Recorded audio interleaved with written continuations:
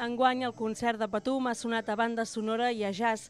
Àlex Martínez ha estat l'encarregat de fer els arranjaments d'una hora de música per un concert amb 17 anys d'història a Berga.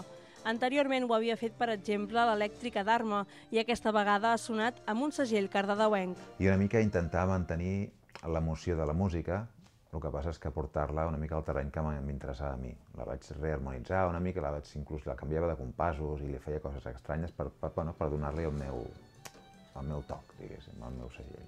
Les peces incorporen l'orquestra de corda de l'Escola de Música de Berga, la banda de vents Ricard Quadre i els violins de l'Alba Roca i l'Oriol Sanya. Amb aquestes premisses, Àlex Martínez va engegar la seva feina amb els arranjaments de la cançó de les masses, conscient de treballar amb temes festius i de gran valor emocional pels bergadans. El músic de Cardedeu reconeix que aquest encàrrec l'ha acostat de ple al món de les espurnes de la Patum.